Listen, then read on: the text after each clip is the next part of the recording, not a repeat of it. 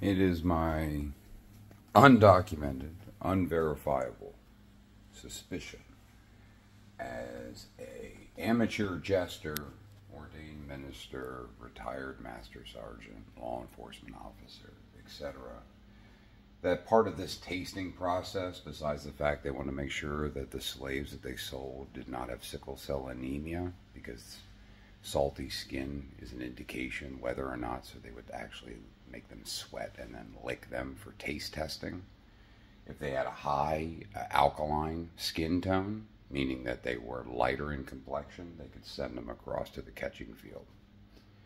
Now, insidiousness sneaks in on things like that, and you usually get the serpentine brotherhoods that want to sell the most prestige of little boys. And some of them wind up becoming um, amazing volunteer Union soldiers. Stuff like that. And the unknown soldier was the one that trained them all, who was probably an albino black guy who didn't want to be king because all of his kids died. I look at these as the aethers.